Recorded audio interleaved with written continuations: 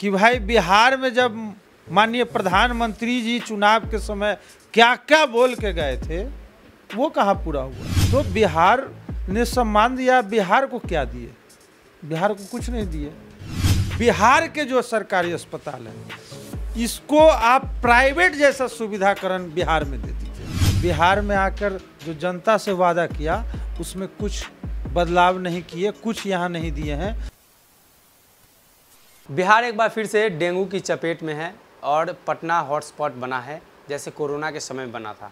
400 के आसपास जो मामले हैं वो सामने आ रहे हैं। स्वास्थ्य व्यवस्था की पोल खुलती हुई नज़र आ रही है। सबसे बड़ा सवाल यही उठता है कि तेजस्वी यादव ने जो एक्शन लिया, वो कितना जायज़ है और जिस तरीके से डॉक्टरों का आरोप है, इन सभी मामलों पर राजू दानवीर हैं जब आपके युवा प्रदेश अध्यक्ष अक्सर सड़कों पर रहते हैं। आप लोगों की सड़कों पर रहने की बारी आ गई है। फिर से एक बार बिहार में आपदा। है देखिए, आपदा है तो हमारे पार्टी के कई साथी जो हैं, अपने क्षेत्र में लगातार छिड़काव कर रहे हैं। घर में गाँव गाँव, घर घर बुलकर ये भी बताने का काम कर रहे हैं कि भाई डेंगू का प्रकोप बढ़ चुका है, आप एहतियात बरतें। कैसे इससे बचाव बच सकते हैं?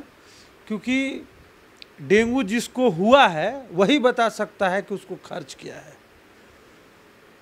बिहार में तो जो डेंगू का जिस तरह से मैंने संक्रमण जिस तरह से बढ़ता जा रहा है तो आज स्थिति ये है कि सैकड़ों लोग इससे संक्रमित हैं।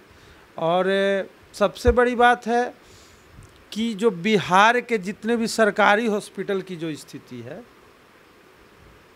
पहले से इस पर हमारे नेता बोलते आए हैं। हमारे नेता आदरणीय पप्पू यादव जी कई बार इस पर पहले बोल चुके हैं। अभी जो वर्तमान सरकार है, मैं इनको कहूँगा कि कम से कम बिहार के जो सरकारी अस्पताल हैं, इसको आप प्राइवेट जैसा सुविधाकरण बिहार में दे दीजिए। हर गरीब आदमी का पैसा बचेगा, गरीब आदमी दुआ देगा। बिहार का जो स्वास्थ्य व्यवस्था है, इसको पूरी तरह से सुधारने की ज़रूरत है। नए तरीके से तेजस्वी यादव स्वास्थ्य महकमे में काम कर रहे हैं। निलंबन भी हुआ है। निलंबन के खिलाफ मुख्यमंत्री को पत्र भी लिखा गया है। कितना जायज़ है निलंबन? और वो जायज़ है तो वो पत्र लिखा जाना कितना जायज़ है? देखिए अब इस मामले में वहाँ जाने के बाद जो हालात होगा उस पर कोई आदमी एक्शन तो अस्पताल घूमते हैं आज भी पीएमसीएच गए थे क्या लगता है व्यवस्था सही है? देखिए पीएमसीएच तो शुरू से बदनाम है। क्योंकि सबसे बड़ी बात है कि बिहार के कोने कोने से किसी भी आदमी को सबसे पहले याद आता है क्योंकि गरीब है, पैसा तो है नहीं। सीधे पीएम से चलिए। पीएमसीएच में डॉक्टर भी हैं नर्सेज भी हैं, सब कुछ हैं। लेकिन कोई भी आदमी बोल दे कि टाइमली हमें इलाज मिलता हो पीएमसीएच में नहीं मिलता है, सर। एक एक सवाल और इसमें हम ऐड करेंगे। वो निलंबन वाले जो मामले हैं उसको लेकर आपने कहा कि देखने की ज़रूरत है। देखिए इसमें है कि कोई भी व्यक्ति यदि जाएँगे उनको यदि सही ढंग पर कोई चीज़ नहीं मिलेगा तो हम हो चाहे कोई भी हो तो उस तरह से एक्शन एक्शन लिया जा सकता है लेकिन उसमें भी देखा जा सकता है कि भाई इसमें सुविधा कितना मिल रहा है नहीं एक्शन में देरी नहीं हो गई। देखिए। कई दिनों से मामला सामने आ रहा है।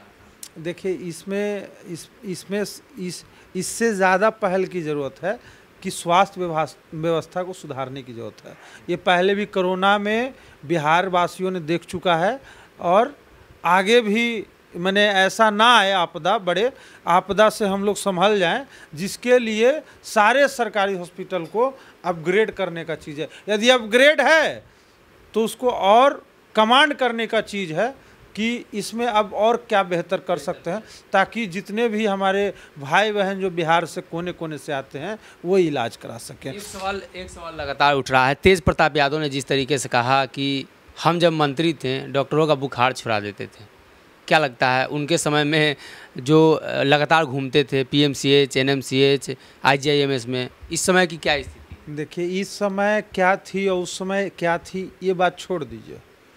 सबसे बड़ी बात है कि हम बार बार कह रहे हैं कि बिहार का स्वास्थ्य व्यवस्था वेंटिलेटर पर है और इसको बड़े पैमाने पर सुधारने की ज़रूरत है। और इसमें जितने बैठे हुए हैं, बीच में बेचोलिए भी बैठे हुए हैं, कोई भी बैठे हुए हैं, सबको हटा देने की ज़रूरत है और बिहार में ऐसा स्वास्थ्य व्यवस्था आप लाइए कि एक गरीब भी आए तो उसको एक रुपया खर्च ना हो, फ्री इलाज करके जाए और आ बिहार सरकार को अच्छा कहे और दुआ दे, ये काम करने की ज़रूरत है। बिहार में कोई ऐसा हॉस्पिटल सरकारी बता दीजिए कि जहाँ गरीब आदमी आके अच्छे से इलाज करा ले और एक रुपया ना खर्च हो। पीएमसीएच जाएगा, दवाई आधा है, दवाई आधा बाहर से लाएगा। बाहर से, फलाने जगह से, चिलाने जगह से। तो वो चीज़ कहीं ना कहीं अखरता है। आपको बता दें कि हो, जितने भी पीएमसीएच में यदि डेथ होता है तो आधा आदमी आपको मान लीजिए कि पैसे के अभाव में डेथ कर जाता है। पैसा रहेगा तो तो बड़ा बड़ा पारस हॉस्पिटल है मैदानता है, ये है, वो, सब में भर्ती हो ही सकता है। पैसे के अभाव में आधा लोग मर जाते हैं। तो हम बिहार सरकार से, मैंने ये अपील करना चाहेंगे, आग्रह है मेरी कि बिहार में स्वास्थ्य व्यवस्था इतना अपग्रेड कर दीजिए, इतनी सुविधाएँ दे दीजिए कि प्राइवेट संस्थान लोग भूल जाए, सरकारी संस्थान को याद रखें। अमित शाह का बिहार में लगातार दौरा हुआ है। तीन चार दौरे हो चुके हैं। भाजपा के जो कोर कमेटी है बिहार की, वो बदलने वाली है चर्चा। अमित शाह ने एक बात का ज़िक्र किया और कहा कि नीतीश कुमार पाँच बार पलट चुके हैं, अब पलटने नहीं देना। देखिए, माननीय गृह मंत्री अमित शाह जी ने जो बोला है, लेकिन वो ये नहीं बोले कि भाई बिहार में जब माननीय प्रधानमंत्री जी चुनाव के समय क्या क्या बोल के गए थे, वो कहाँ पूरा हुआ? वो तो पूरा हुआ नहीं। क्या आप युवाओं को रोज़गार दे दिए? महँगाई में क्या हुआ? डॉलर रुपया के लिए क्या वो बोलते थे? उनका पुराना बयान है, जग ज़ाहिर है। तो पहली बात तो कोई जो फेंक के गए थे, वो तो धरातल पर पहले उतार दें। उसके बाद किसी के बारे में बोले। अब कौन पलटी मार रहा है, कौन क्या है, नहीं है। ये तो बात की बात है। कोई आएगा तो अपनी बात रखेगा ना कि हम दूसरे को आरोप प्रत्यारोप करेंगे। आप आप ऊपर से आए हैं, बिहार को आशा है, बिहार ने आपको दो दो बार सम्मान दिया, तीस प्लस पहुँचाया है हरदम तो बिहार ने सम्मान दिया, बिहार को क्या दिए? बिहार को कुछ नहीं दिए। बिहार से तो पलायन जारी ही है, लगातार। आप जो पर भी हमला किया जा रहा है प्रधानमंत्री को लेकर ललन सिंह का बयान है कि बहुरुपिया हैं। तस्वीरें शेयर की गई हैं जिसमें सैकड़ों तस्वीर है अलग अलग कपड़ों में।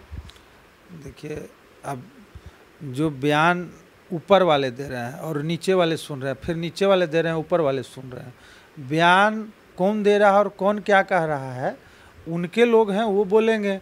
हम तो सिर्फ़ इतना जानते हैं कि माननीय प्रधानमंत्री जी ने बिहार में आकर जो जनता से वादा किया उसमें कुछ बदलाव नहीं किए कुछ यहाँ नहीं दिए हैं। रोज़गार ऐसे ही रहेगा महँगाई कहाँ चला गया और जो जो वादे किए थे सब ऐसे धरा का धरा रह गया बिहार को कुछ नहीं मिला। एक अंतिम सवाल रहेगा बिहार में बिहार में एयरपोर्ट की उन्होंने बात की है पूर्णिया में क्या हुआ? एयरपोर्ट तो नहीं चालू हुआ है। एयरपोर्ट को लेकर केंद्रीय मंत्री से बातचीत भी हुई थी बिहार सरकार के मंत्रियों की। क्या लगता है उस पहल को लेकर कहा जा रहा है कि नीतीश कुमार पहल नहीं कर रहे हैं और नीतीश कुमार कह रहे हैं कि केंद्र सरकार पहल नहीं तो वही तो बात है। यही दाव पेच में तो न कभी मिलता है। विशेष राज्य का दर्जा नहीं कभी मिलता है।